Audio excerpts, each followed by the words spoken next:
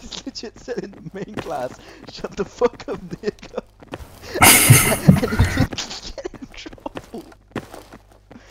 They were, like, ah, don't mind him. it was good, fat fuck.